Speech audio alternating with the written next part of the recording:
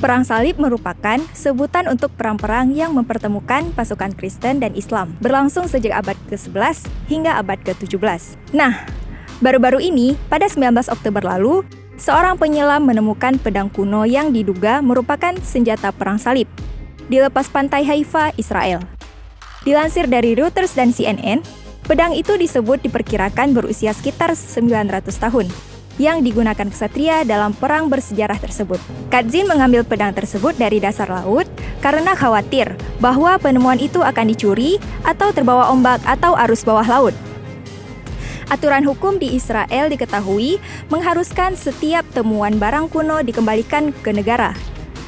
Kemudian, ia membawa pedang tersebut ke daratan dan bergegas menghubungi unit pencegahan perampokan.